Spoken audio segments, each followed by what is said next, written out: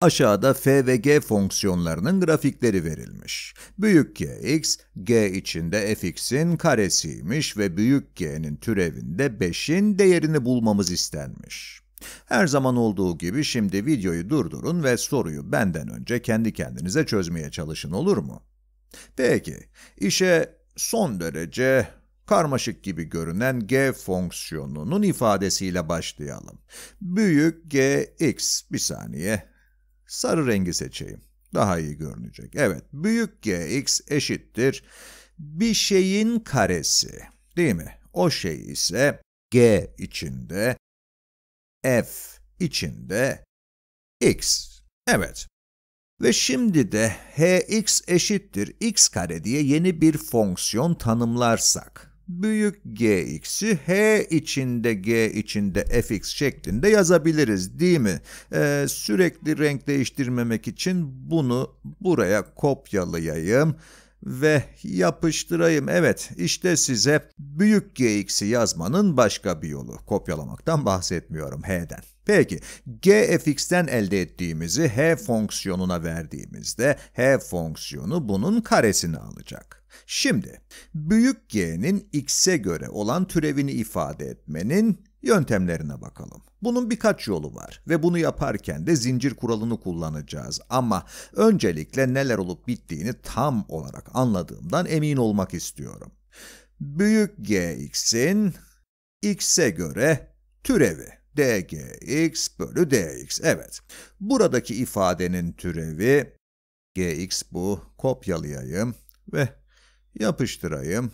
Evet, bu ifadenin içerideki ifadeye göre türevine eşittir değil mi? İçerideki ifade, bunu da kopyalayayım ve yapıştırayım.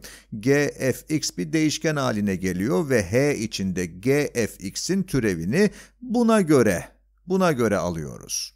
Peki, bir kere daha tekrar edeyim. Tüm bu ifadenin gfx'e göre türevi çarpı, devam, gfx'in bu kez fx'e göre türevi. Evet, gfx'in fx'e göre türevi. Onu da şuraya kopyalayayım. fx'e göre Evet, yazsam mı daha kolay olurdu, kopyalamak mı daha kolay bilemedim her neyse.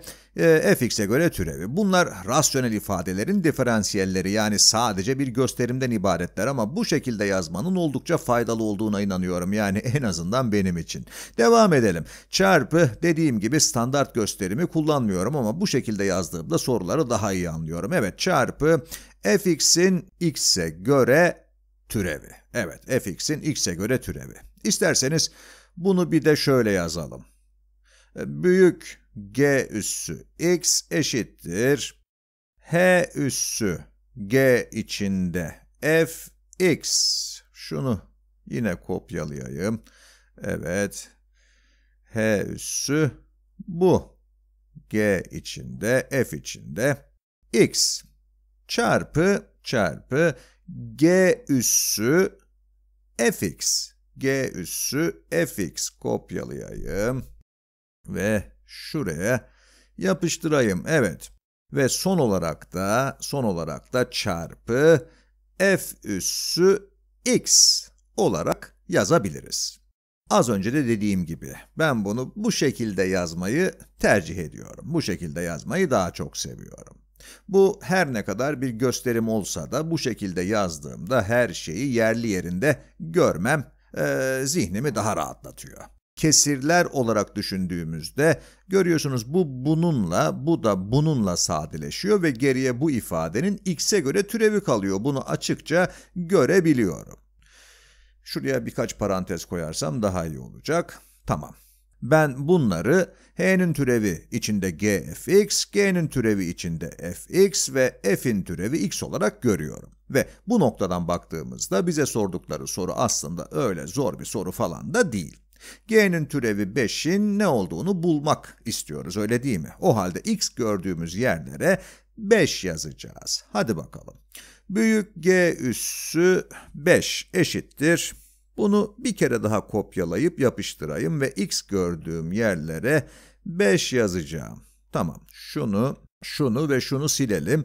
Bir de yerlerine 5 yazarsak, 5, 5 ve buraya da bir 5 harika oldu. F5 ile başlayalım şimdi. Evet F5 nedir? Bakıyorum F5 eksi 1'dir. Burası eksi 1'miş. Burası da eksi 1. Tamam. Peki f'in türevinde 5 hakkında ne düşünüyorsunuz? Türev teğetin eğimi olduğu için buradaki teğetin eğimini değerlendirmemiz gerekiyor öyle değil mi? Ve eğimin 0 olduğunu görüyorsunuz. Hemen burasının 0 olacağını da not edelim. Şimdi g eksi 1'in ve g'nin türevinde eksi 1'in ne olduğunu bulmaya çalışarak devam edebiliriz. Mesela g eksi 1'e bakalım. Eksi 1'miş. g'nin türevi eksi 1 için yine eğime bakacağım. O da eksi 1 ve sonra da h'nin türevi eksi 1'in ne olduğunu bulmaya çalışabiliriz. Ama tüm bunları yapmamıza gerek yok. Çünkü elimizde 3 farklı ifadenin çarpımı var ve bu ifadelerden biri 0. Kısacası 0 çarpı bir şey çarpı başka bir şeyin sonucunun 0 olacağını söylemeye çalışıyorum. Bu arada fx x 5'e eşitken değişmediği için g'ye verdiğimiz değerinde değişmediğini, yani g içinde fx ifadesinin de aynı kalacağını, h içinde g içinde fx'in de değişmeyeceğini ve bu nedenle büyük gx'in de değişmeyeceğini, böylece g üssü 5'in de sıfıra eşit olacağını söyleyebilirsiniz.